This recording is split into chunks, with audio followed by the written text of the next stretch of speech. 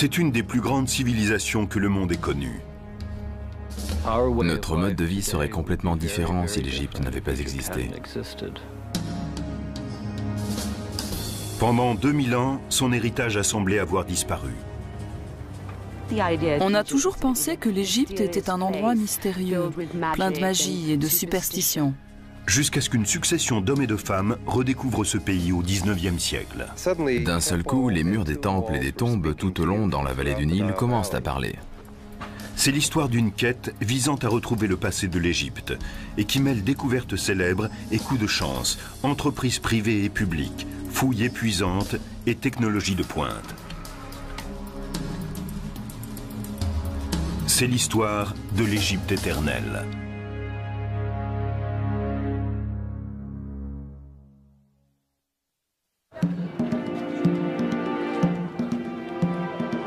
Le musée égyptien du Caire abrite quelques-uns des plus grands trésors de l'Antiquité. C'est un endroit fascinant à visiter. Ici, les autorités égyptiennes et des spécialistes de l'informatique ont uni leurs forces pour découvrir les secrets d'une civilisation. Dans le cadre d'un projet ambitieux appelé l'Éternel Égypte, des milliers d'objets comme cette statue de scribe assis ont été numérisés et entrés dans une immense base de données accessible à tous via Internet.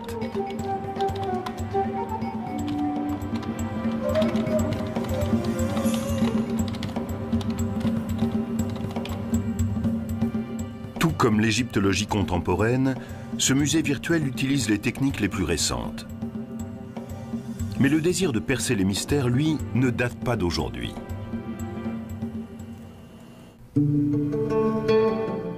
On peut déjà le voir à l'œuvre en 1798 lorsqu'un petit groupe de savants et d'ingénieurs suivent Napoléon dans sa campagne d'Égypte.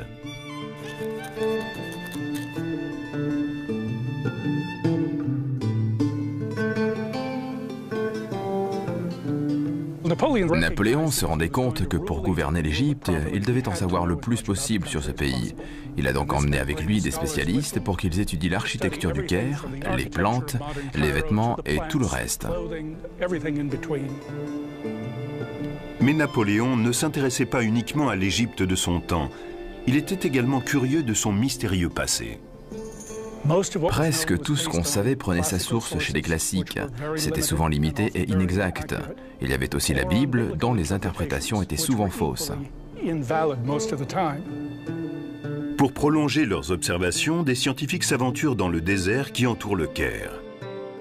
Ils y découvrent des constructions très anciennes, les fameuses pyramides et le mystérieux sphinx de Gizeh. Mais un homme va oser s'aventurer plus loin c'est le baron Dominique Vivant Denon, ancien diplomate et dessinateur accompli. En arrivant en Égypte, il est bien décidé à pister les Égyptiens de l'Antiquité et à descendre plus loin sur le Nil. Napoléon donne l'ordre à une de ses divisions d'envahir le territoire jusque-là inconnu qui s'étend au sud de Gizeh. Denon est impatient de se joindre à eux. Le voyage est rude, la région est infestée de bandits, l'armée est sous la menace constante d'une attaque. Mais arrivé à 700 km au sud du Caire, la troupe ne regrette pas d'avoir traversé ces épreuves. Autour de Luxor se trouve le groupe de monuments le plus important d'Égypte. C'est ici, dans l'ancienne capitale, Thèbes, que s'élèvent les grands temples de Karnak et de Luxor.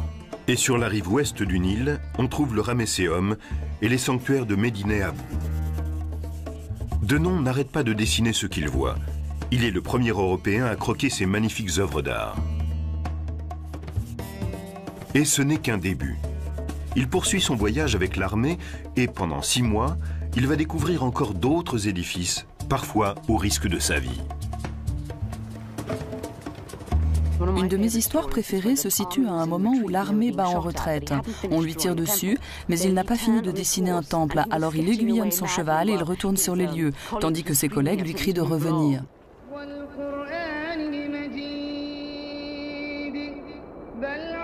En juin 1799, Denon regagne le Caire où une terrible surprise l'attend. La flotte britannique a vaincu les renforts français. L'expédition est un échec pour Napoléon. Le temps presse. L'empereur donne l'ordre aux savants qui restent sur place de continuer l'œuvre de Denon.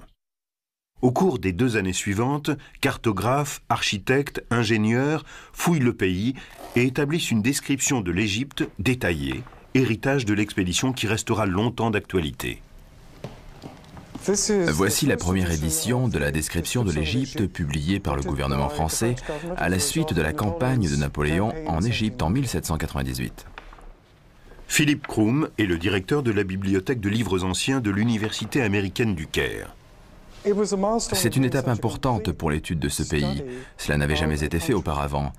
Il voulait vraiment apprendre le maximum de choses, le tout dans une perspective scientifique.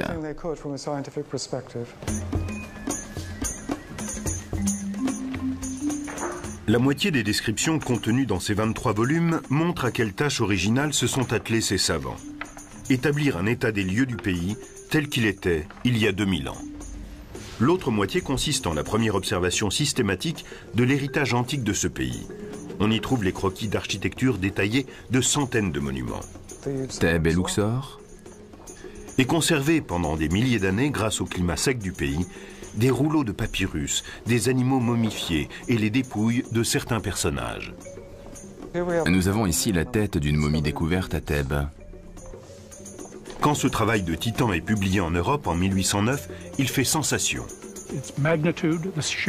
Son ampleur, la taille de l'entreprise indiquait que l'Égypte était plus riche en sites archéologiques que n'importe quelle autre région du monde. On tenait la preuve irréfutable que ce monde était beaucoup plus vieux et mystérieux qu'on le pensait jusque-là. On savait que derrière la grandeur de Rome, il y avait la grandeur de la Grèce.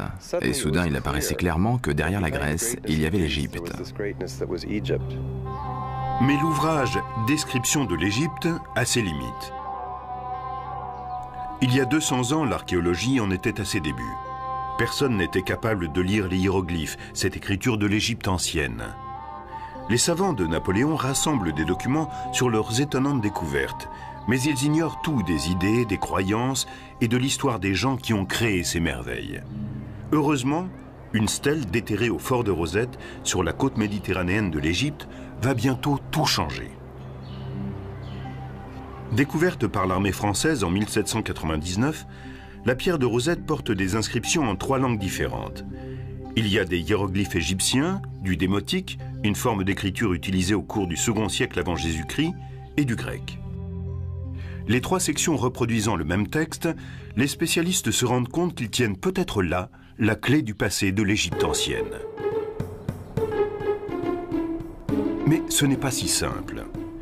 Il est clair dans la section grecque que les inscriptions font l'éloge du pharaon Ptolémée V. Mais malgré leurs efforts, les érudits n'arrivent pas à relier les différentes langues entre elles. On a dû d'abord dépasser l'idée que les hiéroglyphes égyptiens seraient des idéogrammes, chaque signe représentant une idée. Un des premiers Européens à percer une partie de l'énigme est un savant britannique du nom de Thomas Young. 16 ans après la découverte de la fameuse pierre, Young comprend que le nom de Ptolémée, lisible dans la partie grecque, correspond à un groupe de hiéroglyphes entourés d'un ovale, ce qu'on appelle un cartouche. Il lui paraît soudain évident que ces hiéroglyphes reproduisent phonétiquement le nom de Ptolémée. Mais ce n'est qu'une partie de la solution. La découverte capitale va se produire à Paris sept ans plus tard grâce à un linguiste français, Jean-François Champollion. Comme Young, Champollion pense que les hiéroglyphes sont un ancien alphabet, mais le 14 septembre 1822, il fait un pas décisif. Champollion a compris que les hiéroglyphes étaient utilisés de façon différente. En particulier, certains reproduisent un mot phonétiquement, et à la fin, on a souvent un idéogramme ou un déterminatif qui donne un aperçu du mot entier. Certains signes représentent un son, mais donnent aussi une idée de ce qu'ils désignent. Par exemple, des jambes vont donner l'idée de mouvement. Si elles vont vers l'arrière, cela veut dire qu'on marche à reculons. Champollion veut partager sa découverte avec son frère et se précipite dans sa librairie toute proche. Il lance son travail sur le bureau de son frère. Ça y est, j'ai trouvé. Et s'évanouit aussitôt. Quand il revient à lui quatre jours plus tard, il commence à élaborer un dictionnaire et une grammaire d'égyptien ancien. Après 2000 ans de silence, les Égyptiens de l'Antiquité parlent de nouveau avec leurs propres mots. Les images engendrent des sons, les mots véhiculent des idées et tout un monde s'ouvre à nous. C'est le résultat de cette découverte stupéfiante. Tout est en place pour permettre les grandes découvertes de l'égyptologie.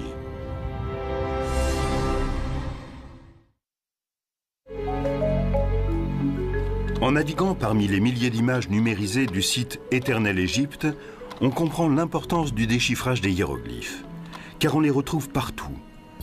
Et pendant des siècles, on avait cru qu'il s'agissait de peintures primitives. Mais plus pour longtemps.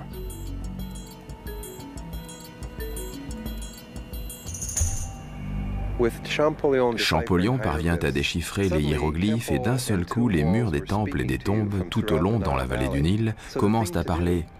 il fallait donc aller collecter toutes ces inscriptions. Parmi les hommes qui entreprennent ce voyage, on trouve un jeune savant anglais, John Gardner Wilkinson. Profitant de la paix relative qui suit le départ de l'armée française, Wilkinson visite les sites les plus fascinants de l'Égypte antique. Comme les érudits de Napoléon 20 ans plus tôt, il recopie à la main des milliers d'inscriptions. Mais alors que ceux-ci devaient se contenter de reproduire les hiéroglyphes, il peut les lire. On découvrait ce qui intéressait les Égyptiens, quelles étaient leurs préoccupations. On s'est aperçu tout à coup que leur vérité était très proche de la nôtre. Wilkinson fait part de ses découvertes dans un ouvrage qu'il publie à son retour. À l'aide de détails frappants, il tente pour la première fois de reconstruire la vie quotidienne des anciens Égyptiens, leur organisation sociale, leurs croyances religieuses et leur histoire politique. On compte trois grands royaumes, l'ancien, le moyen et le nouveau. Mais les épigraphes comme Wilkinson ne sont pas les seuls Européens à sillonner le pays.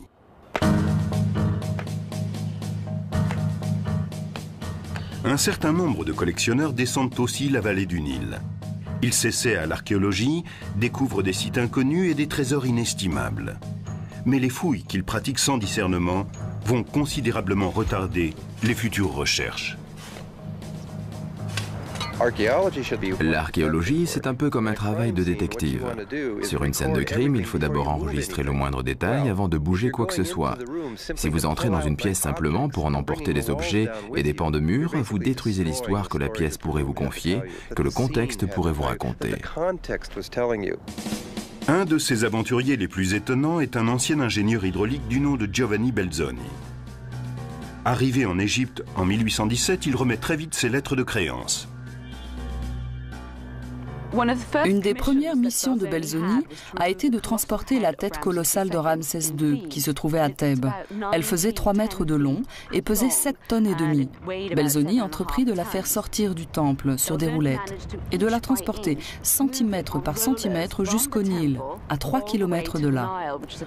Aujourd'hui, cette tête est une des plus belles pièces du British Museum.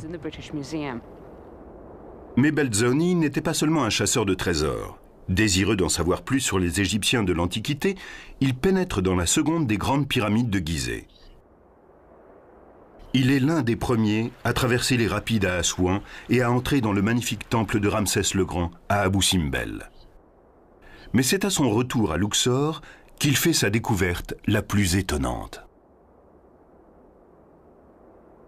Entre les collines de l'autre côté du fleuve, les pharaons égyptiens du Nouvel Empire ont bâti leurs tombes. Belzoni découvre que plusieurs d'entre elles ont déjà été pillées à des périodes plus anciennes. Mais il est convaincu qu'il en reste d'autres. Il place un peu partout dans la vallée des rois ses ouvriers égyptiens qui découvrent bientôt cinq tombes creusées dans la pierre. Et le 18 octobre 1817, il pénètre dans la tombe numéro 6. C'est peut-être le moment le plus intense de la vie de Belzoni quand il entre dans ses chambres funéraires. Kent Wicks est un égyptologue qui fait autorité dans le domaine des tombes antiques. Ce n'est pas uniquement une des plus grandes découvertes de Belzoni, c'est une des plus grandes découvertes qui ait jamais été faite dans la vallée des rois. Sans le savoir, Belzoni a découvert la tombe du père de Ramsès le Grand, le pharaon bâtisseur d'empire, Séti Ier. Seti était un dirigeant très puissant. Son importance ne se mesure pas uniquement à la taille de sa tombe, mais à certains changements subtils dans les textes religieux. Ici, par exemple, nous trouvons des images d'étrangers comme s'il voulait dire ⁇ L'Égypte sous mon règne est devenue un grand empire qui couvre le monde. Nos dieux contrôlent non seulement ce qui se passe dans la vallée du Nil, mais ce qui se passe dans le monde entier. À 135 mètres derrière la façade du temple, Belzoni découvre finalement la chambre funéraire de Seti. Ce plafond qui présente la vision égyptienne des cieux est ce qui a été peint de plus beau dans le Nouvel Empire. Cette tombe aussi a été dévalisée, mais les pillards ont laissé un trésor derrière eux. Un sarcophage superbement orné en albâtre translucide. Bien sûr, Belzoni l'a ramené en Angleterre et il s'est retrouvé au Swames Museum où il est exposé dans un coin sombre du sous-sol. C'est une fin plutôt triste pour un des objets peut-être les plus exceptionnels au monde. De retour en Angleterre, Belzoni loue une salle d'exposition à Londres pour partager ses autres découvertes avec un public fasciné. Belzoni était un homme de spectacle. Il a copié certaines parties de la tombe de Séti et les a assemblées, si bien que les visiteurs avaient l'impression de traverser la chambre funéraire du pharaon et de découvrir l'art égyptien de façon très intime. Cette exposition, le retentissement de l'ouvrage Description de l'Égypte et les conclusions des premiers épigraphes transforme la curiosité envers les anciens Égyptiens en véritable égyptomanie. C'est devenu une passion. Tout le monde se devait d'avoir chez soi des objets égyptiens. Il était même de bon ton d'avoir une salle égyptienne décorée dans le style des tombeaux. Et bien sûr, le commerce des antiquités a connu un développement sans précédent. Le marché des antiquités se développe pendant une trentaine d'années, jusqu'à ce que des archéologues éclairés tentent d'y mettre fin. L'un d'entre eux est l'ancien conservateur Auguste Mariette. Mariette estimait que les monuments anciens devaient être laissés en l'état sur les sites. Et s'ils devaient être exportés, il fallait au moins relever la façon dont ils étaient insérés dans leur contexte avant de les en arracher. Au début, Mariette est impuissant. Et puis, en 1851, la chance tourne avec une découverte faite par hasard. En explorant l'immense nécropole de Saqqara au sud de Gizeh, il remarque la tête d'un petit sphinx qui dépasse du sable. Cela lui rappelle l'avenue des sphinx qui menait à la nécropole du légendaire taureau Apis. Les Égyptiens de l'Antiquité ont vénéré ces animaux sacrés pendant des millénaires. La découverte de ces tombes se révèle être d'une extrême importance. Mariette creuse pendant une année et son entêtement se révèle finalement payant. Mariette est arrivée devant une porte en grès qui était scellée. Il l'a enfoncée et est entré. L'égyptologue Salima Ikram est une spécialiste des pratiques funéraires de l'Égypte antique. Après avoir enfoncé la porte, Mariette a découvert une quantité de stylés en calcaire gravés par des rois, des roturiers, des tas de gens, et tout était dédié au taureau Apis. Après avoir passé l'entrée, Mariette se retrouve dans des galeries creusées dans le roc sur des kilomètres. Il découvre des chambres secondaires qui renferment des merveilles, comme d'énormes sarcophages de granit de plus de 80 tonnes chacun. On peut lire ici Apis, le fils bien-aimé d'Osiris, qui lui donne la vie, l'éternité et la prospérité à jamais. À l'intérieur d'un de ces immenses cercueils, Mariette découvre les restes d'un taureau momifié enseveli au cours du règne de Ramsès le Grand. Cette découverte fait sensation et lui vaut bientôt d'être nommé à la tête du service des antiquités égyptiennes. Usant de son autorité, Mariette arrête toutes les fouilles en dehors des siennes et interdit l'exportation d'objets sans autorisation spéciale. Il crée un musée permanent pour sa nouvelle collection d'antiquités l'égyptologie entre dans son âge d'or.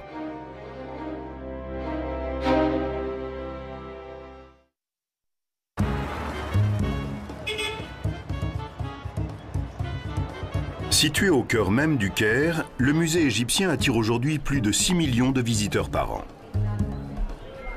Un guide numérique permet aux visiteurs de consulter l'immense base de données sur l'Égypte éternelle, tout en admirant de nombreux objets d'une grande beauté.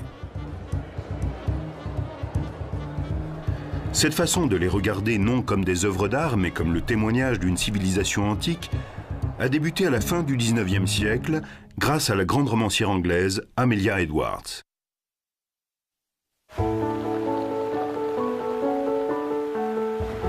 En 1873, elle se rend en Égypte. Comme beaucoup d'autres touristes, elle visite le plateau de Gizeh, émerveillée par ces édifices créés par la main de l'homme et fascinée par les gens qui les ont bâtis. Mais elle veut aller plus loin.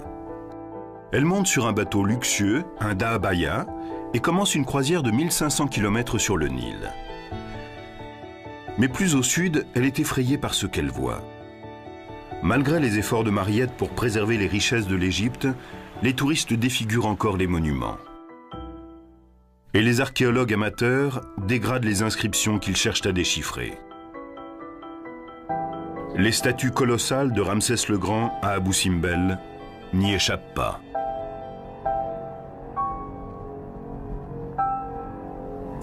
Quelqu'un a fait un moulage en plâtre du visage de Ramsès et a laissé des traces blanches de plâtre derrière lui. Ce n'était bien sûr pas très heureux esthétiquement. Alors, Amelia Edwards a donné l'ordre à des gens de faire des tonnes de café dont elle a aspergé la statue. Ainsi, le plâtre a-t-il été teint de la même couleur que la pierre? Mais cela ne sera pas sa seule action. À son retour, elle lance une campagne pour faire connaître au public les Égyptiens de l'Antiquité et crée une société historique connue sous le nom de Fonds d'exploration égyptien. Ces fonds encourageaient l'archéologie propre. On ne pouvait faire des fouilles sur un site et se contenter de mettre des objets dans une caisse à destination d'un musée. Vous deviez étudier le contexte dans lequel ils se trouvaient pour les analyser ensuite en fonction de leur cadre historico-culturel. On trouve parmi les premiers protégés de cette fondation un jeune topographe britannique du nom de Flinders Petrie. En 1881, Petrie arrive en Égypte pour étudier la grande pyramide de Gizeh, dont certains disent qu'elle est trop parfaite pour avoir été construite par des humains. Il constate bientôt que la pyramide, tout admirable qu'elle soit, possède toutes les imperfections qu'on retrouve dans les anciennes constructions.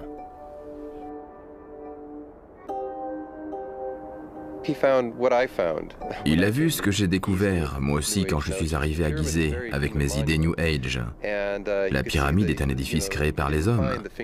Il n'a pas pu trouver d'empreintes digitales divines, mais humaines, ainsi que les traces de leurs outils et de leurs uh, déjections.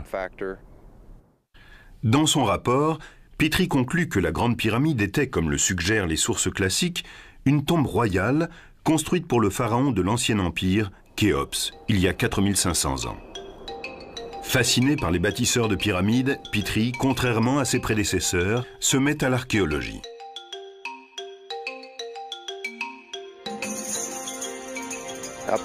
Jusque-là, les égyptologues s'étaient concentrés sur les inscriptions qu'ils trouvaient sur les temples et les pyramides. Mais de même qu'on ne peut pas comprendre la société américaine en se contentant d'aller à Washington et d'en décrire les monuments, Petrie s'était rendu compte qu'on ne comprend pas une civilisation sans en connaître la vie quotidienne. Pour déchiffrer ce quotidien, Petrie étudie tout ce qu'il ramène de ses fouilles, que ce soit un fragment de poterie ou un trésor inestimable. Le plus important dans le travail de Petrie, c'est qu'il insiste en permanence sur le contexte archéologique. Ce n'est pas tant ce qu'on trouve qui est important, que l'endroit où on le trouve et tout ce qu'il y a autour. À travers son approche révolutionnaire, Petrie développe une technique de datation très sophistiquée qui va lui permettre de faire des découvertes remarquables au cours des 40 années suivantes. À Thèbes, il déterre une stèle dont l'inscription fait référence pour la première fois à la tribu d'Israël. Au nord de Luxor, à Nagada, il trouve des milliers d'anciennes tombes, dernière demeure des tout premiers habitants de la vallée du Nil. Cela lui permet d'éclairer dix siècles d'une histoire jusque-là totalement inconnue, celle de la période qui précède la première dynastie des souverains d'Égypte. Et il n'est pas le seul. Un nombre grandissant d'égyptologues travaillent à présent dans la vallée du Nil, et eux aussi font des découvertes essentielles. Une plaque de pierre qui raconte l'histoire du premier pharaon de l'Égypte unifiée. Des tablettes d'argile qui se révèlent être des lettres diplomatiques datant d'il y a 3000 ans. Et la seule statue connue de Khéops, le pharaon de l'Ancien Empire pour qui a été construite la Grande Pyramide. Une des découvertes les plus fascinantes est pourtant faite à Luxor par les Égyptiens eux-mêmes. Il s'agit de momies arrachées à leur tombe à la fin du Nouvel Empire et cachées par des prêtres. Parmi elles, celle de quelques personnages royaux majeurs, tels Séti Ier, dont Belzoni s'était emparé du sarcophage, et celle du plus célèbre de tous les pharaons, Ramsès le Grand. Tout à coup, ces rois puissants ne sont plus seulement des noms, ils ont des visages. Mais il reste une tombe royale du Nouvel Empire qui n'a pas encore été découverte et dont on sait qu'elle n'a pas été pillée. Il faut se contenter d'imaginer les richesses qu'elle contient jusqu'en novembre 1922, quand Howard Carter effectue une des plus grandes découvertes de l'histoire de l'égyptologie. Carter, qui a débuté sous les ordres de Flinders Petrie, étudie la vallée des rois durant cinq ans avant de faire sa célèbre découverte.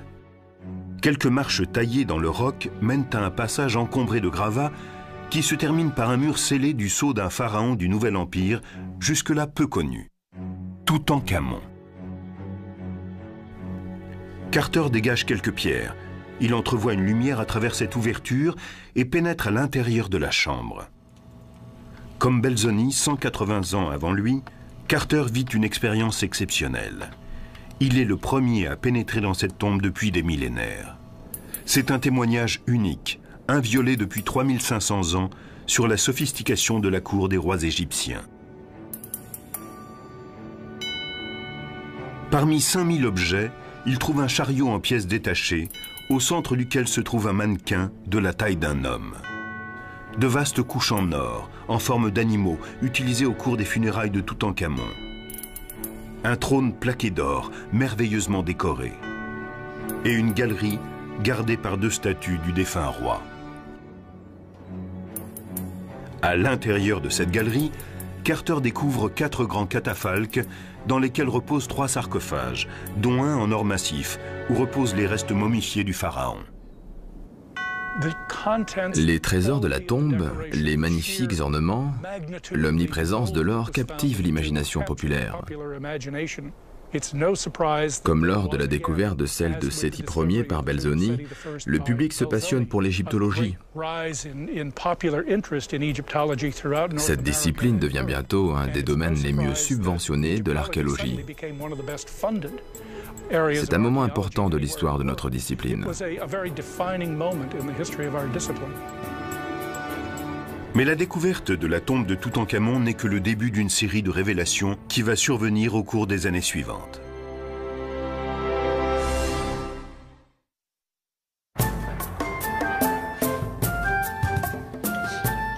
La découverte de la tombe de Toutankhamon inaugure une ère sans précédent dans l'activité archéologique de la vallée du Nil. Un événement important a bientôt lieu en 1939 près de la ville de Tanis, située dans le delta du Nil. Un archéologue français, Pierre Montet, découvre non pas une, mais six tombes royales intactes. Elles contiennent les trésors fabuleux de plusieurs pharaons de l'ancienne Égypte. Mais cette découverte est éclipsée par les conflits qui déchirent le monde. Quand éclate la Seconde Guerre mondiale, de nombreux égyptologues quittent le pays. 13 ans plus tard, la révolution égyptienne fait table rase de la domination européenne. À présent indépendants, les égyptologues égyptiens commencent à faire des découvertes fascinantes.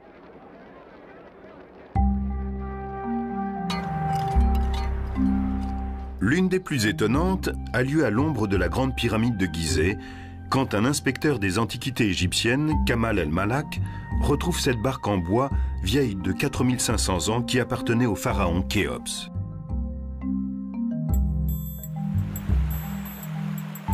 On commence à voir de plus en plus clairement qui étaient les souverains d'Égypte. Mais les spécialistes continuent à se pencher sur la vie quotidienne du peuple. Ils disposent maintenant de techniques très sophistiquées. Et bientôt va naître le remarquable programme intitulé Projet de sauvetage nubien. À la fin des années 50, la démographie est en pleine expansion. Le gouvernement égyptien décide de libérer des terres en construisant un barrage sur le Nil à Assouan.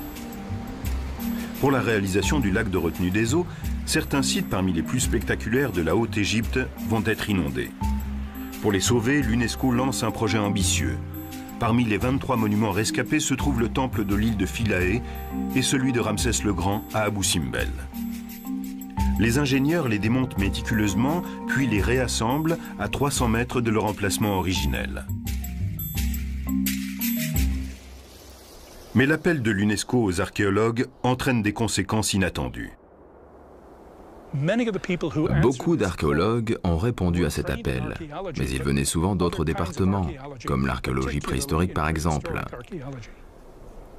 Ils ont apporté sur les sites égyptiens la méticulosité de leur discipline inconnue jusque-là en Égypte. Quand on fouille aujourd'hui, ce n'est pas seulement pour trouver des bols en or ou des momies. Nous nettoyons la saleté et récupérons des restes d'anciennes plantes qui ont été carbonisées mais non broyées. Nous sauvons la moindre parcelle de poterie. Ce type de démarche archéologique est dans la ligne de l'intérêt que portait Pitry à la culture de la vie quotidienne et va plus loin qu'il ne l'imaginait.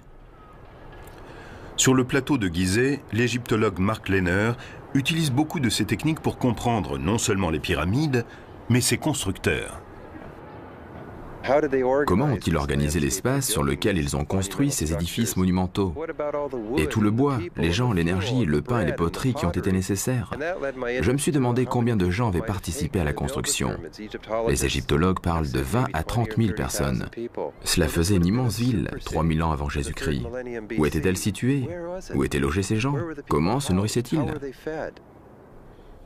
En 1995, Lehner commence à explorer le côté sud du site où il déterre quelque chose de très étonnant.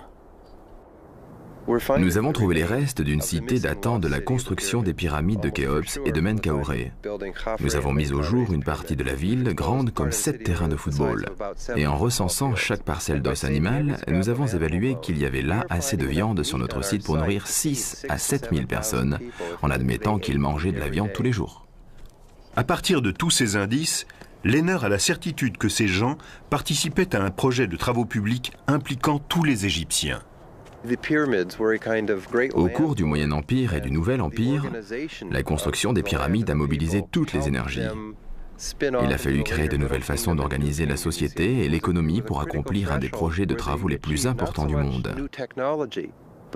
C'est cette organisation qui m'a fait dire que le plus intéressant était non pas comment les Égyptiens ont construit les pyramides, mais comment les pyramides ont permis à l'Égypte de se construire.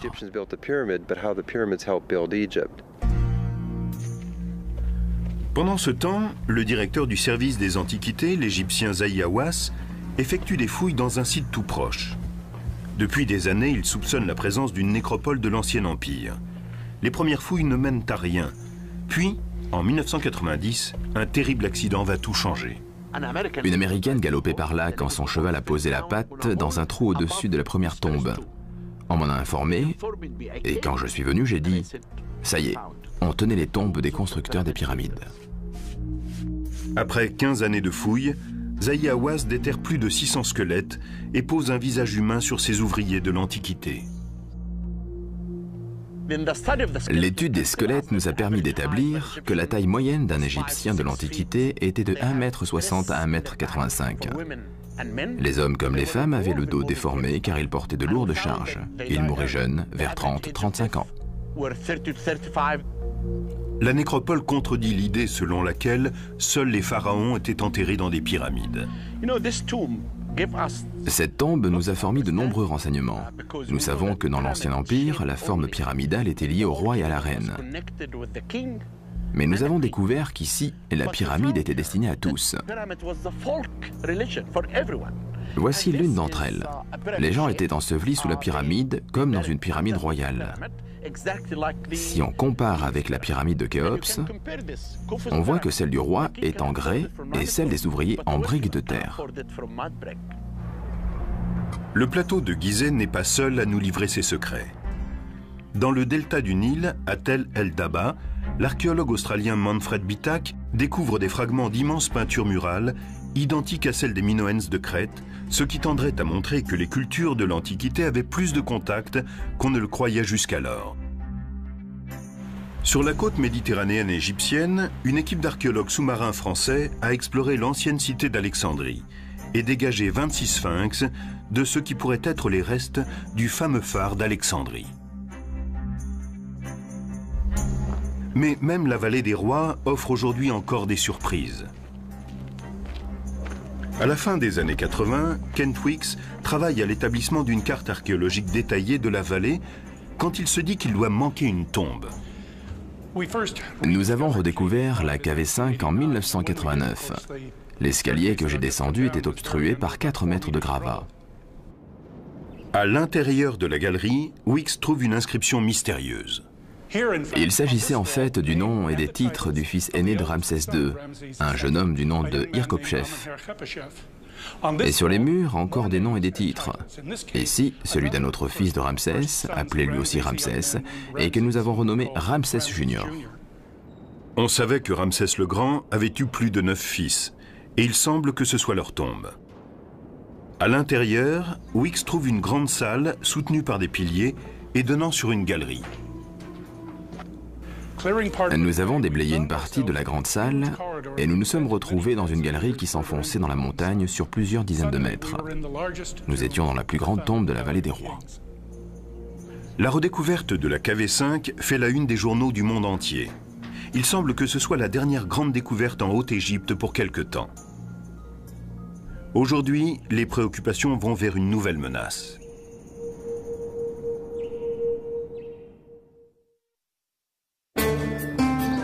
Au cours des 200 dernières années, on a assisté à des avancées stupéfiantes dans la connaissance des Égyptiens de l'Antiquité. Leurs monuments ont été fouillés, leur langage déchiffré, leur religion et leur système politique analysés. Nous avons maintenant une vision précise de cette ancienne civilisation et de ce qu'elle nous a légué. La culture égyptienne est à la base de la culture occidentale contemporaine. Nous sommes leurs descendants. Personne ne doute qu'il y ait encore beaucoup à découvrir. Mais pour l'instant, les égyptologues se consacrent à la préservation plus qu'aux fouilles. Les Égyptiens ont construit leur temple en pierre. Ils pensaient logiquement qu'il serait éternel. Mais nous avons découvert récemment que ce matériau peut aussi être très fragile. Dans toute l'Égypte, les édifices que le désert a protégés pendant 3000 ans tombent en ruine à cause de la pollution industrielle, de l'irrigation excessive, de l'accroissement de la population et du tourisme de masse. Le tourisme de masse est nocif pour les monuments égyptiens. Quelqu'un qui entre dans la grande pyramide y apporte 20 grammes d'eau contenant du sel. Si 5000 personnes par jour entrent dans une tombe royale, que se passera-t-il au bout de 10 ans? C'est un des grands défis de l'Égypte. Comment trouver un équilibre entre l'ancien et le nouveau? Nous allons perdre ces précieux monuments si nous ne faisons rien. Pour sortir de cette crise, le gouvernement égyptien a mis en place une nouvelle gestion des sites anciens. Il a limité les fouilles au sud du delta du Nil. Il privilégie les projets de documentation et de conservation, comme l'étude épigraphique de Luxor, dirigé par l'égyptologue Ray Johnson.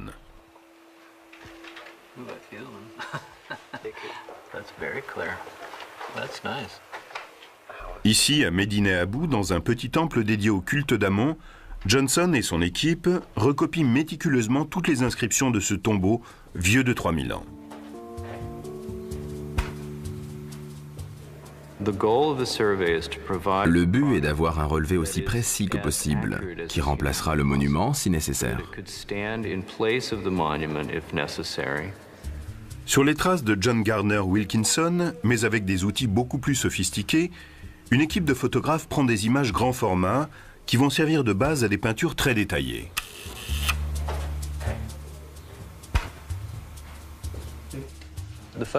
Le photographe ne montre pas tout.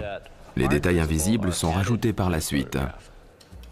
À la Chicago House de Luxor, les dessins en crayon sont ancrés avant d'être immergés dans des bains d'iodine qui dissolvent la photo mais laissent le tracé de l'encre.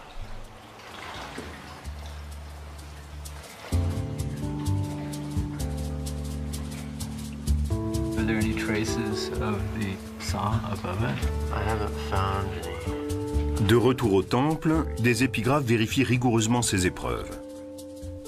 Et quand Johnson est totalement certain de leur exactitude, elles sont envoyées à Chicago pour être publiées. Il faut 30 ans pour copier l'ensemble d'un temple, mais le résultat est remarquable. Ils ont préservé les informations gravées dans les murs pour l'éternité. C'est conservé pour la nuit des temps.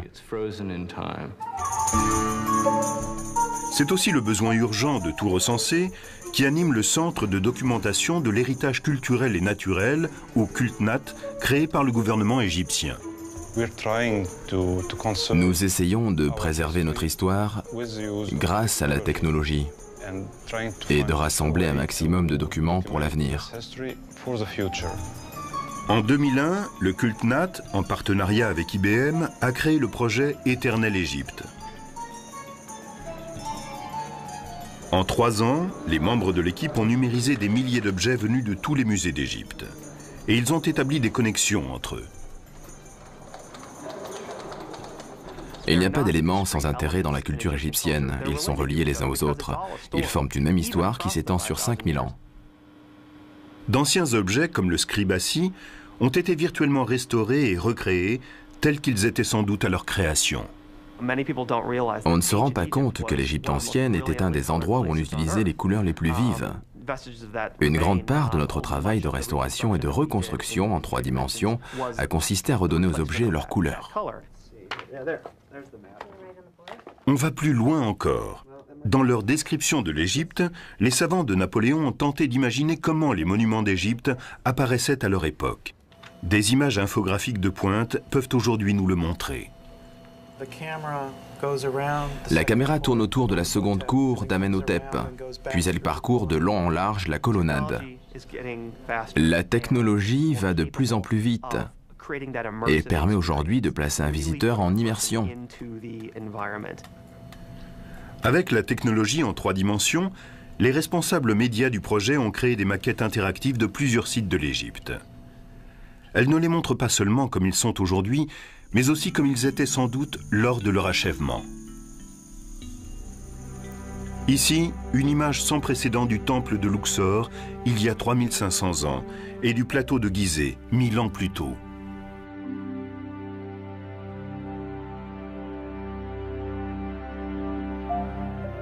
Mais le cœur du projet, c'est le résultat des recherches de ces deux derniers siècles. Une image vivante d'un peuple de l'Antiquité, à travers ses écrits, ses monuments et ses objets. Depuis 2004, ce projet peut être consulté au musée égyptien à travers des guides numériques, des téléphones reliés à des bases de données et via Internet sur le site eternalegypte.org. Le projet ne s'est jamais achevé. Nous avons tenté de construire une infrastructure assez souple pour pouvoir accepter de nouvelles données, de nouveaux objets, de nouveaux personnages, de nouveaux sites et pour inclure de nouveaux modes de connexion. Il s'agit de créer une nouvelle pensée, un nouveau contexte entre tout cela. Et pendant ce temps, on continue les recherches sur cette fascinante civilisation. En 1995, on avait retrouvé 67 chambres funéraires. Aujourd'hui, on en est à 120. Pendant combien de temps fouillera-t-on encore? Je n'en sais rien. Mais à ce rythme, il faudra encore deux ou trois générations pour venir à bout de la KV5. Ma prochaine étape sera de me consacrer aux sites urbains que nous avons découverts. Cela demande plus qu'une vie d'homme. Nous n'arriverons pas au bout. Nous voulons sauver certaines choses pour les archéologues du futur, qui disposeront de techniques encore plus avancées, qui sont aujourd'hui inimaginables. Aujourd'hui, nous savons tous que le passé de l'Égypte est notre passé à tous. Nous lui devons beaucoup. Nous devons aux Égyptiens leur savoir, leurs idées, leur philosophie, leur compréhension de la vie. C'est notre héritage. Il est là, et puisqu'il a survécu ainsi jusqu'à nos jours, c'est notre responsabilité d'assurer sa pérennité. Oui, c'est notre responsabilité. Thank you.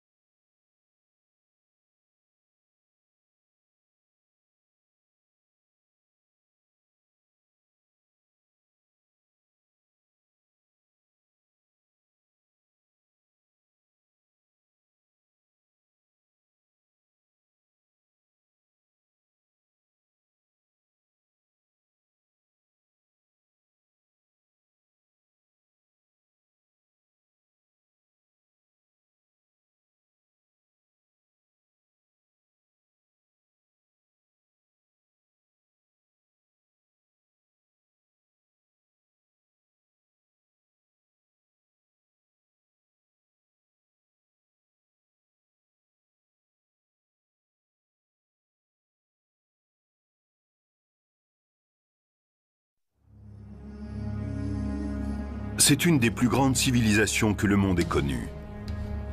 Notre mode de vie serait complètement différent si l'Égypte n'avait pas existé. Pendant 2000 ans, son héritage a semblé avoir disparu. On a toujours pensé que l'Égypte était un endroit mystérieux, plein de magie et de superstitions. Jusqu'à ce qu'une succession d'hommes et de femmes redécouvre ce pays au 19e siècle. D'un seul coup, les murs des temples et des tombes tout au long dans la vallée du Nil commencent à parler. C'est l'histoire d'une quête visant à retrouver le passé de l'Égypte et qui mêle découvertes célèbres et coups de chance, entreprises privées et publiques, fouilles épuisantes et technologies de pointe. C'est l'histoire de l'Égypte éternelle.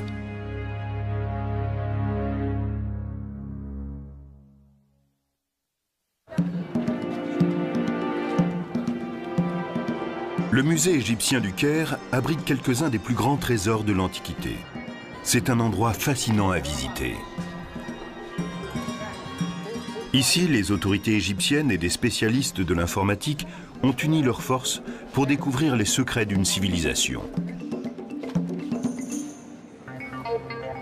Dans le cadre d'un projet ambitieux appelé l'Éternel Égypte, des milliers d'objets, comme cette statue de scribe assis, ont été numérisés et entrés dans une immense base de données accessible à tous via Internet.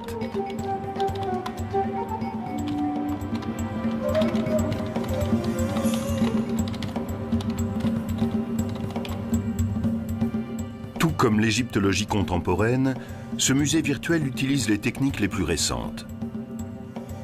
Mais le désir de percer les mystères, lui, ne date pas d'aujourd'hui.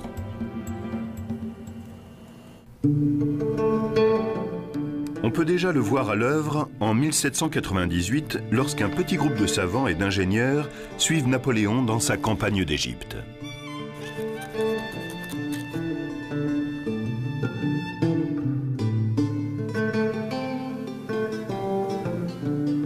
Napoléon se rendait compte que pour gouverner l'Égypte, il devait en savoir le plus possible sur ce pays.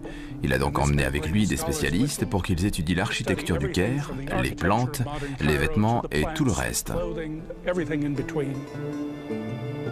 Mais Napoléon ne s'intéressait pas uniquement à l'Égypte de son temps. Il était également curieux de son mystérieux passé. Presque tout ce qu'on savait prenait sa source chez les classiques. C'était souvent limité et inexact. Il y avait aussi la Bible, dont les interprétations étaient souvent fausses. Pour prolonger leurs observations, des scientifiques s'aventurent dans le désert qui entoure le Caire. Ils y découvrent des constructions très anciennes, les fameuses pyramides et le mystérieux sphinx de Gizeh. Mais un homme va oser s'aventurer plus loin c'est le baron Dominique Vivant Denon, ancien diplomate et dessinateur accompli. En arrivant en Égypte, il est bien décidé à pister les Égyptiens de l'Antiquité et à descendre plus loin sur le Nil. Napoléon donne l'ordre à une de ses divisions d'envahir le territoire jusque-là inconnu qui s'étend au sud de Gizeh. Denon est impatient de se joindre à eux. Le voyage est rude, la région est infestée de bandits, l'armée est sous la menace constante d'une attaque. Mais arrivée à 700 km au sud du Caire, la troupe ne regrette pas d'avoir traversé ces épreuves. Autour de Luxor se trouve le groupe de monuments le plus important d'Égypte.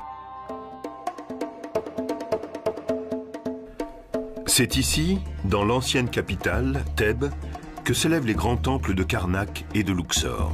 Et sur la rive ouest du Nil, on trouve le Ramesséum et les sanctuaires de Médine et Abou. Denon n'arrête pas de dessiner ce qu'il voit, il est le premier Européen à croquer ces magnifiques œuvres d'art. Et ce n'est qu'un début.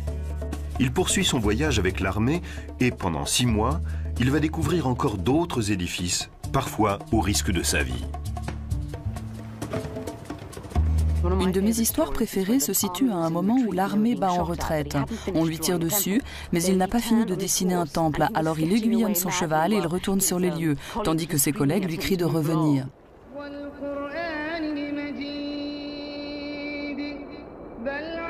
En juin 1799, Denon regagne le Caire où une terrible surprise l'attend.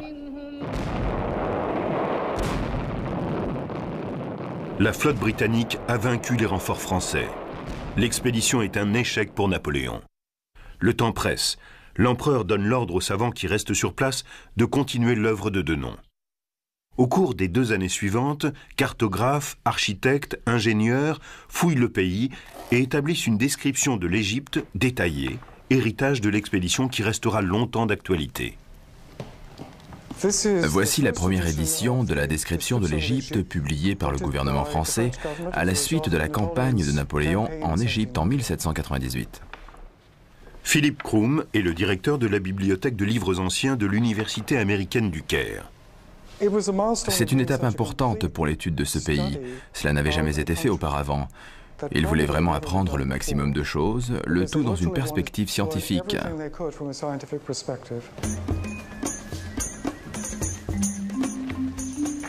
La moitié des descriptions contenues dans ces 23 volumes montrent à quelle tâche originale se sont attelés ces savants.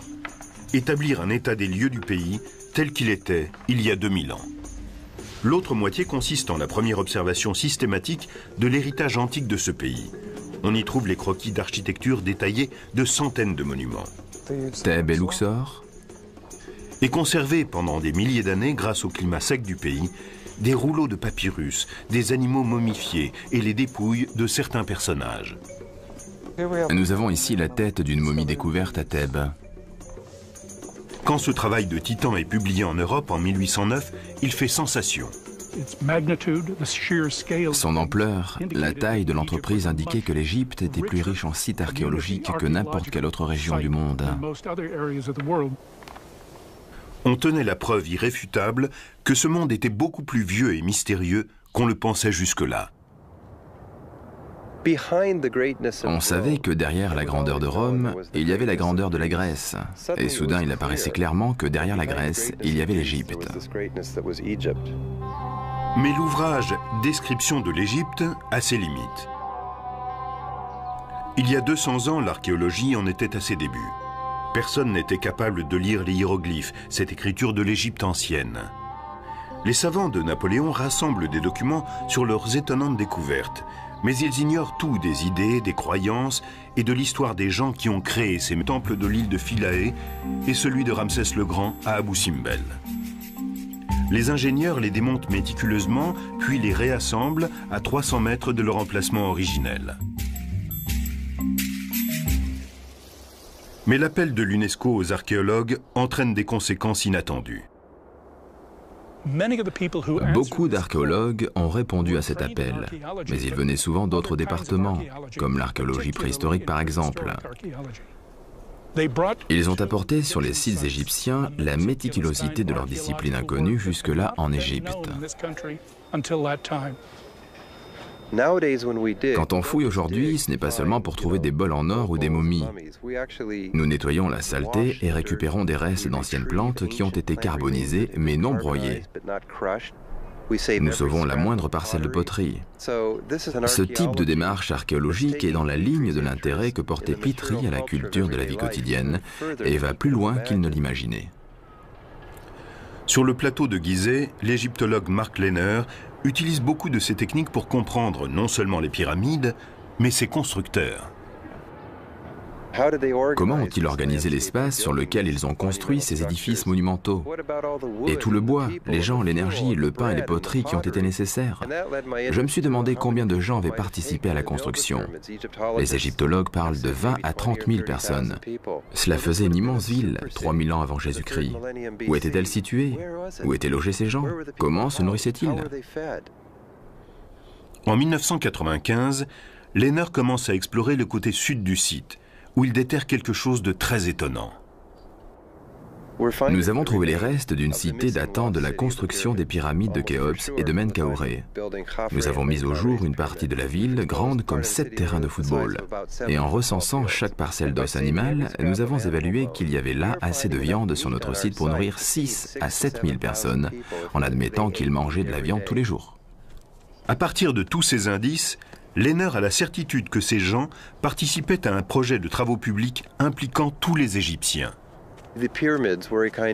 Au cours du Moyen Empire et du Nouvel Empire, la construction des pyramides a mobilisé toutes les énergies. Il a fallu créer de nouvelles façons d'organiser la société et l'économie pour accomplir un des projets de travaux les plus importants du monde. C'est cette organisation qui m'a fait dire que le plus intéressant était non pas comment les Égyptiens ont construit les pyramides, mais comment les pyramides ont permis à l'Égypte de se construire.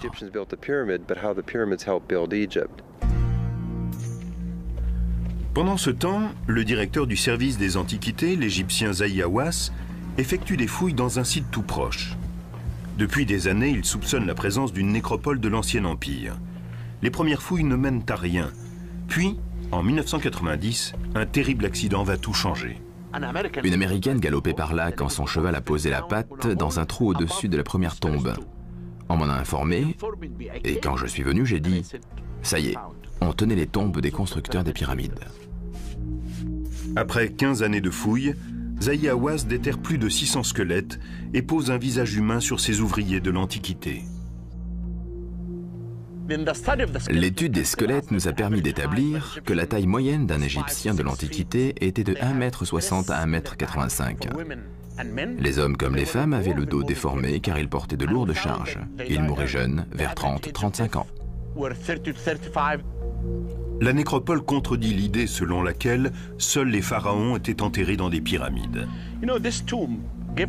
Cette tombe nous a fourni de nombreux renseignements. Nous savons que dans l'Ancien Empire, la forme pyramidale était liée au roi et à la reine.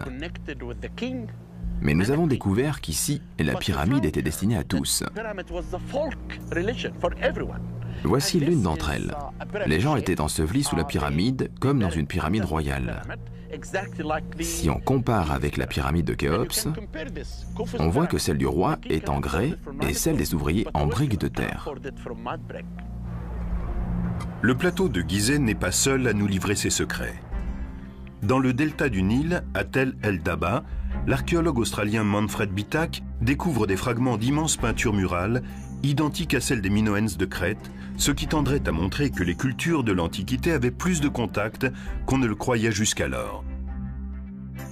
Sur la côte méditerranéenne égyptienne, une équipe d'archéologues sous-marins français a exploré l'ancienne cité d'Alexandrie et dégagé 26 sphinx de ce qui pourrait être les restes du fameux phare d'Alexandrie.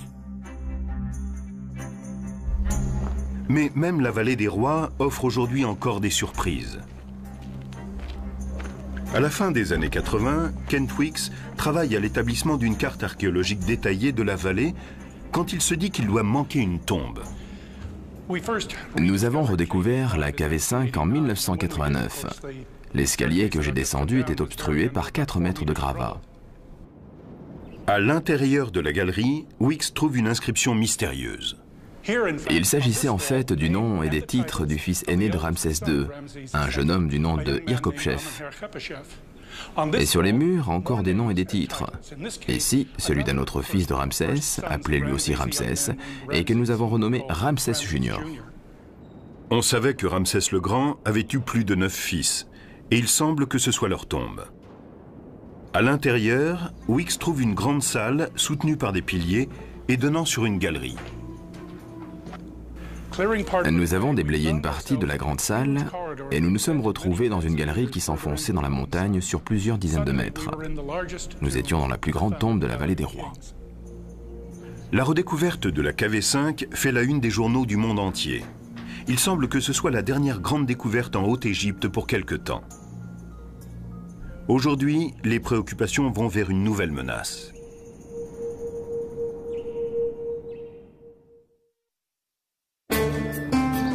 Au cours des 200 dernières années, on a assisté à des avancées stupéfiantes dans la connaissance des Égyptiens de l'Antiquité. Leurs monuments ont été fouillés, leur langage déchiffré, leur religion et leur système politique analysés. Nous avons maintenant une vision précise de cette ancienne civilisation et de ce qu'elle nous a légué. La culture égyptienne est à la base de la culture occidentale contemporaine. Nous sommes leurs descendants. Personne ne doute qu'il y ait encore beaucoup à découvrir. Mais pour l'instant, les égyptologues se consacrent à la préservation plus qu'aux fouilles. Les Égyptiens ont construit leur temple en pierre. Ils pensaient logiquement qu'il serait éternel. Mais nous avons découvert récemment que ce matériau peut aussi être très fragile. Dans toute l'Égypte, les édifices que le désert a protégés pendant 3000 ans tombent en ruine à cause de la pollution. La pyramide est un édifice créé par les hommes. Il n'a pas pu trouver d'empreintes digitales divines mais humaines, ainsi que les traces de leurs outils et de leurs déjections. Dans son rapport, Petrie conclut que la Grande Pyramide était, comme le suggèrent les sources classiques, une tombe royale construite pour le pharaon de l'Ancien Empire, Khéops, il y a 4500 ans. Fasciné par les bâtisseurs de pyramides, Petrie, contrairement à ses prédécesseurs, se met à l'archéologie.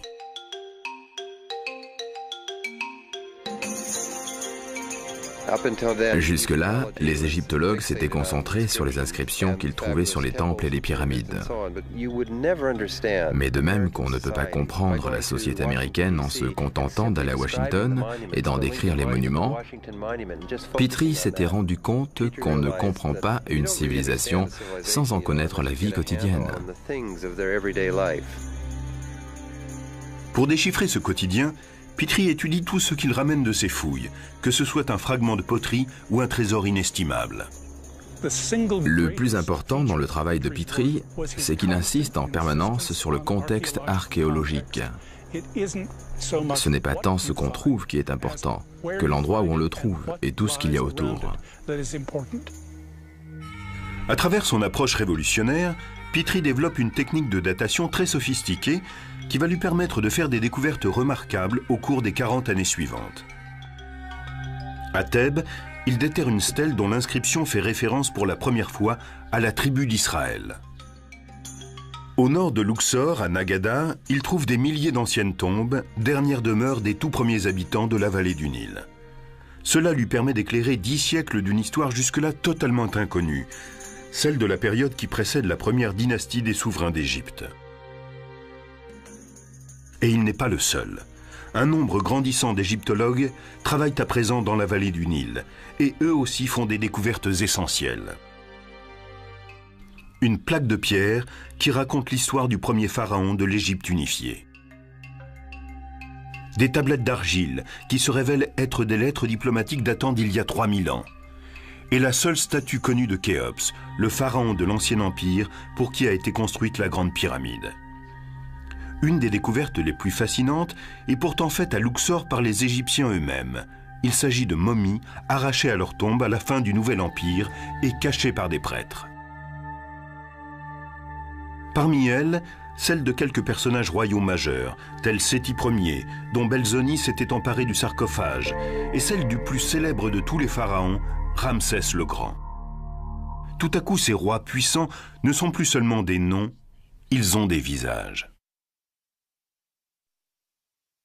Mais il reste une tombe royale du Nouvel Empire qui n'a pas encore été découverte et dont on sait qu'elle n'a pas été pillée. Il faut se contenter d'imaginer les richesses qu'elle contient jusqu'en novembre 1922, quand Howard Carter effectue une des plus grandes découvertes de l'histoire de l'égyptologie. Carter, qui a débuté sous les ordres de Flinders Petrie, étudie la vallée des rois durant cinq ans avant de faire sa célèbre découverte. Quelques marches taillées dans le roc mènent à un passage encombré de gravats qui se termine par un mur scellé du sceau d'un pharaon du Nouvel Empire, jusque-là peu connu. Tout en Camon. Carter dégage quelques pierres. Il entrevoit une lumière à travers cette ouverture et pénètre à l'intérieur de la chambre. Comme Belzoni, 180 ans avant lui, Carter vit une expérience exceptionnelle. Il est le premier à pénétrer dans cette tombe depuis des millénaires. C'est un témoignage unique, inviolé depuis 3500 ans, sur la sophistication de la cour des rois égyptiens. Parmi 5000 objets, il trouve un chariot en pièces détachées, au centre duquel se trouve un mannequin de la taille d'un homme. De vastes couches en or, en forme d'animaux, utilisées au cours des funérailles de Toutankhamon un trône plaqué d'or, merveilleusement décoré, et une galerie gardée par deux statues du défunt roi.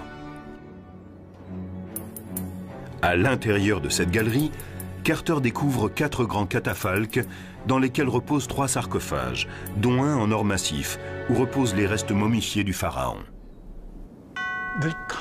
Les trésors de la tombe, les magnifiques ornements, l'omniprésence de l'or captivent l'imagination populaire. Comme lors de la découverte de celle de Séti Ier par Belzoni, le public se passionne pour l'égyptologie. Cette discipline devient bientôt un des domaines les mieux subventionnés de l'archéologie. C'est un moment important de l'histoire de notre discipline. Mais la découverte de la tombe de Toutankhamon n'est que le début d'une série de révélations qui va survenir au cours des années suivantes.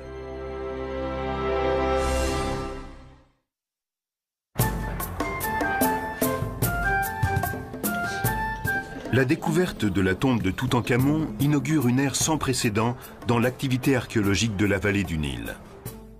Un événement important a bientôt lieu en 1939 près de la ville de Tanis, située dans le delta du Nil.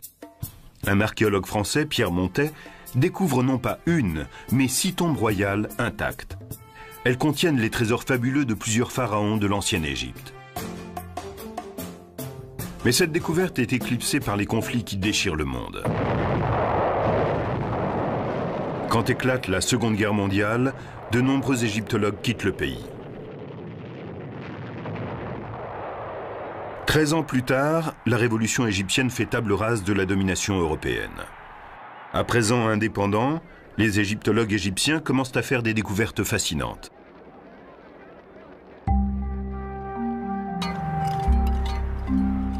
L'une des plus étonnantes a lieu à l'ombre de la grande pyramide de Gizeh, quand un inspecteur des antiquités égyptiennes, Kamal el-Malak, retrouve cette barque en bois vieille de 4500 ans qui appartenait au pharaon Khéops.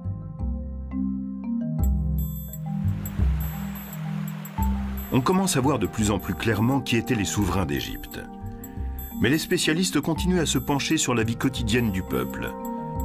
Ils disposent maintenant de techniques très sophistiquées. Et bientôt va naître le remarquable programme intitulé Projet de sauvetage nubien. À la fin des années 50, la démographie est en pleine expansion. Le gouvernement égyptien décide de libérer des terres en construisant un barrage sur le Nil à Assouan. Pour la réalisation du lac de retenue des eaux, certains sites parmi les plus spectaculaires de la Haute-Égypte vont être inondés. Pour les sauver, l'UNESCO lance un projet ambitieux. Parmi les 23 monuments rescapés se trouve le... Ici, par exemple, nous trouvons des images d'étrangers comme s'ils voulaient dire « L'Égypte, sous mon règne, est devenue un grand empire qui couvre le monde ». Nos dieux contrôlent non seulement ce qui se passe dans la vallée du Nil, mais ce qui se passe dans le monde entier. À 135 mètres derrière la façade du temple, Belzoni découvre finalement la chambre funéraire de Séti. Ce plafond qui présente la vision égyptienne des cieux est ce qui a été peint de plus beau dans le Nouvel Empire. Cette tombe aussi a été dévalisée, mais les pillards ont laissé un trésor derrière eux un sarcophage superbement orné en albâtre translucide.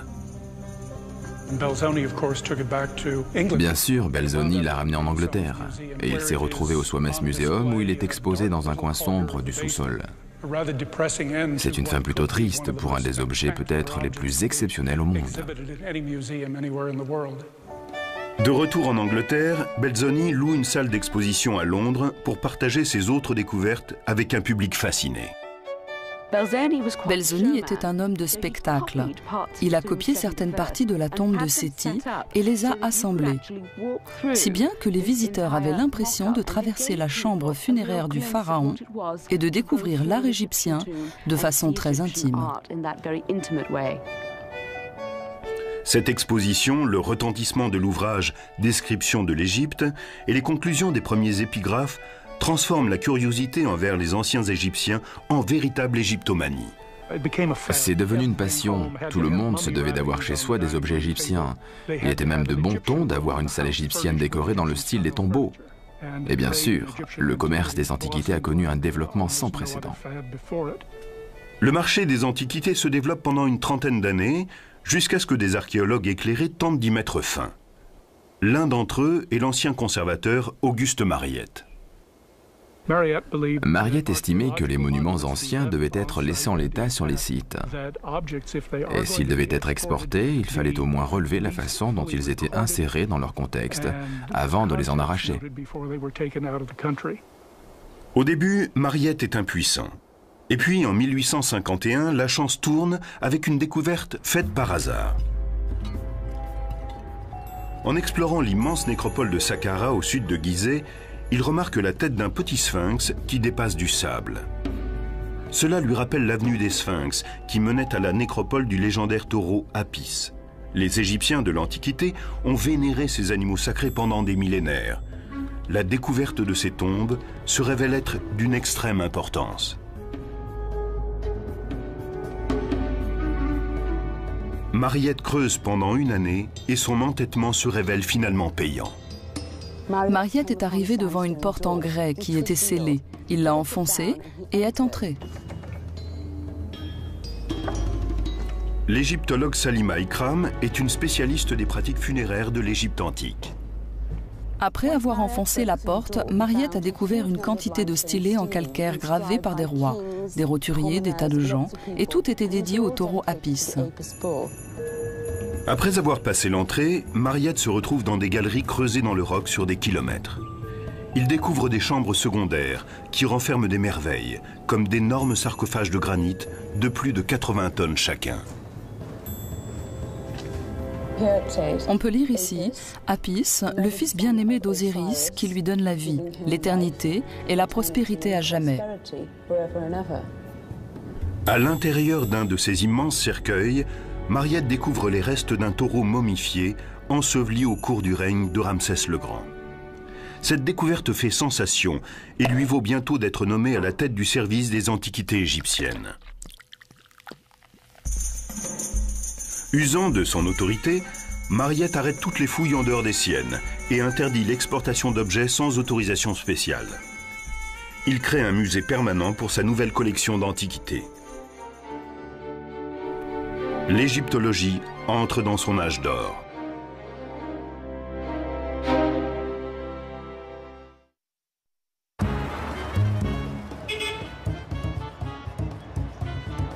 Situé au cœur même du Caire, le musée égyptien attire aujourd'hui plus de 6 millions de visiteurs par an. Un guide numérique permet aux visiteurs de consulter l'immense base de données sur l'Égypte éternelle, tout en admirant de nombreux objets d'une grande beauté. Cette façon de les regarder non comme des œuvres d'art, mais comme le témoignage d'une civilisation antique, a débuté à la fin du XIXe siècle grâce à la grande romancière anglaise Amelia Edwards.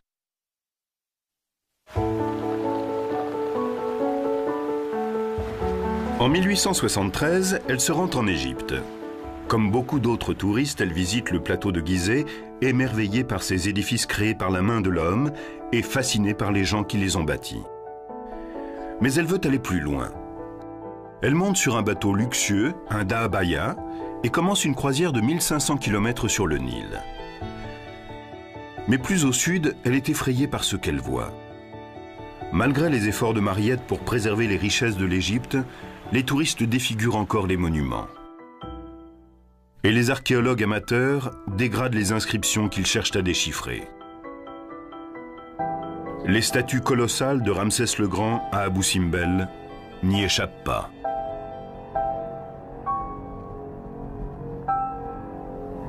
Quelqu'un a fait un moulage en plâtre du visage de Ramsès et a laissé des traces blanches de plâtre derrière lui. Ce n'était bien sûr pas très heureux esthétiquement. Alors, Amelia Edwards a donné l'ordre à des gens de faire des tonnes de café dont elle a aspergé la statue. Ainsi, le plâtre a-t-il été teint de la même couleur que la pierre. Mais cela ne sera pas sa seule action. À son retour, elle lance une campagne pour faire connaître au public les Égyptiens de l'Antiquité et crée une société historique connue sous le nom de Fonds d'exploration égyptien. Ces fonds encourageaient l'archéologie propre. On ne pouvait faire des fouilles sur un site et se contenter de mettre des objets dans une caisse à destination d'un musée. Vous deviez étudier le contexte dans lequel ils se trouvaient pour les analyser ensuite en fonction de leur cadre historico-culturel. On trouve parmi les premiers protégés de cette fondation un jeune topographe britannique du nom de Flinders Petrie. En 1881, Pitry arrive en Égypte pour étudier la grande pyramide de Gizeh, dont certains disent qu'elle est trop parfaite pour avoir été construite par des humains. Il constate bientôt que la pyramide, tout admirable qu'elle soit, possède toutes les imperfections qu'on retrouve dans les anciennes constructions.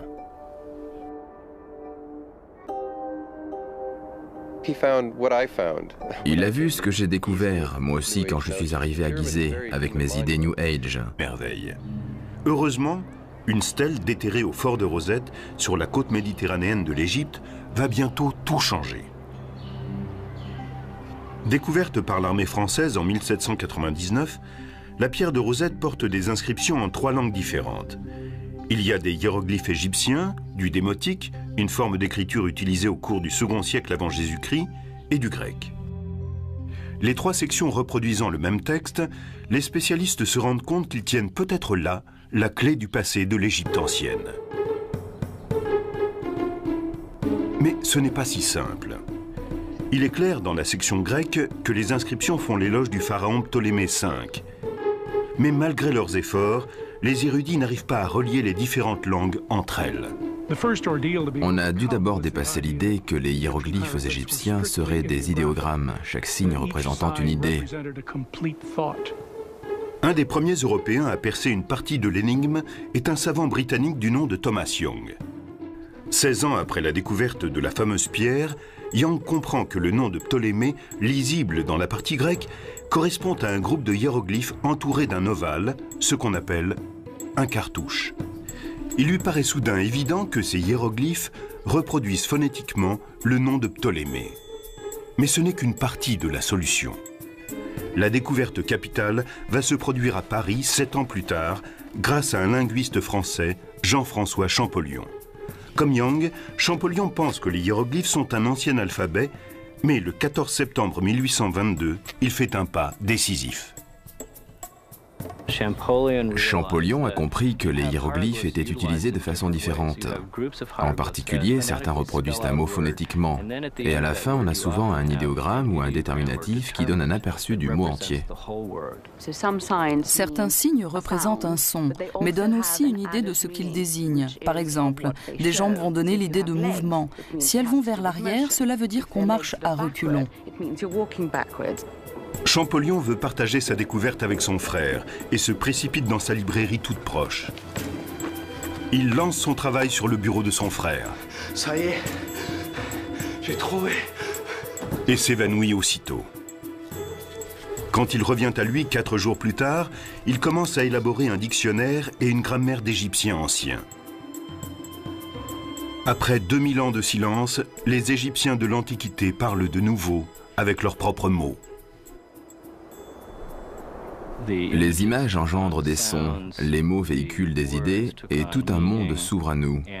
C'est le résultat de cette découverte stupéfiante. Tout est en place pour permettre les grandes découvertes de l'égyptologie.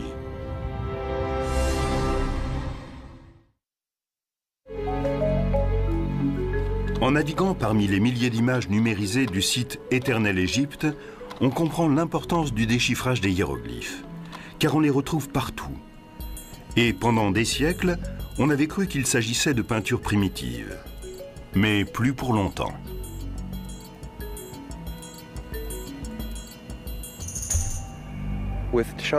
Champollion parvient à déchiffrer les hiéroglyphes et d'un seul coup, les murs des temples et des tombes tout au long dans la vallée du Nil commencent à parler. Il fallait donc aller collecter toutes ces inscriptions.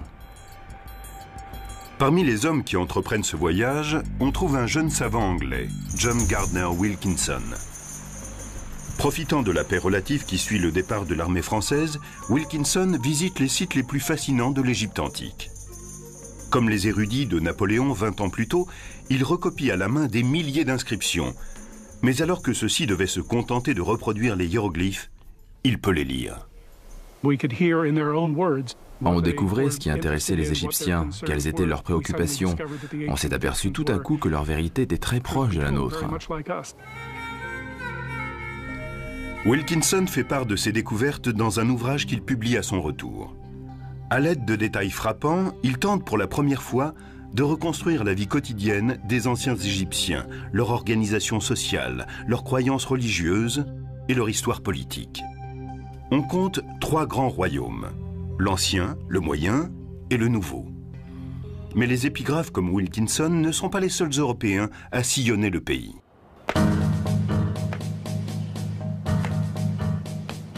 Un certain nombre de collectionneurs descendent aussi la vallée du Nil. Ils s'essaient à l'archéologie, découvrent des sites inconnus et des trésors inestimables. Mais les fouilles qu'ils pratiquent sans discernement vont considérablement retarder les futures recherches. L'archéologie, c'est un peu comme un travail de détective. Sur une scène de crime, il faut d'abord enregistrer le moindre détail avant de bouger quoi que ce soit. Si vous entrez dans une pièce simplement pour en emporter des objets et des pans de mur, vous détruisez l'histoire que la pièce pourrait vous confier, que le contexte pourrait vous raconter. Un de ces aventuriers les plus étonnants est un ancien ingénieur hydraulique du nom de Giovanni Belzoni. Arrivé en Égypte en 1817, il remet très vite ses lettres de créance. Une des premières missions de Belzoni a été de transporter la tête colossale de Ramsès II, qui se trouvait à Thèbes. Elle faisait 3 mètres de long et pesait 7 tonnes et demie. Belzoni entreprit de la faire sortir du temple sur des roulettes et de la transporter centimètre par centimètre jusqu'au Nil, à 3 km de là. Aujourd'hui, cette tête est une des plus belles pièces du British Museum. Mais Belzoni n'était pas seulement un chasseur de trésors. Désireux d'en savoir plus sur les Égyptiens de l'Antiquité, il pénètre dans la seconde des grandes pyramides de Gizeh. Il est l'un des premiers à traverser les rapides à Assouan et à entrer dans le magnifique temple de Ramsès le Grand à Abu Simbel. Mais c'est à son retour à Luxor qu'il fait sa découverte la plus étonnante. Entre les collines de l'autre côté du fleuve, les pharaons égyptiens du Nouvel Empire ont bâti leurs tombes. Belzoni découvre que plusieurs d'entre elles ont déjà été pillées à des périodes plus anciennes. Mais il est convaincu qu'il en reste d'autres. Il place un peu partout dans la vallée des rois ses ouvriers égyptiens qui découvrent bientôt cinq tombes creusées dans la pierre. Et le 18 octobre 1817, il pénètre dans la tombe numéro 6. C'est peut-être le moment le plus intense de la vie de Belzoni quand il entre dans ses chambres funéraires. Kent Wicks est un égyptologue qui fait autorité dans le domaine des tombes antiques. Ce n'est pas uniquement une des plus grandes découvertes de Belzoni, c'est une des plus grandes découvertes qui ait jamais été faite dans la vallée des rois. Sans le savoir, Belzoni a découvert la tombe du père de Ramsès le Grand, le pharaon bâtisseur d'empire, Séti Ier. Seti était un dirigeant très puissant. Son importance ne se mesure pas uniquement à la taille de sa tombe, mais à certains changements subtils dans les textes religieux.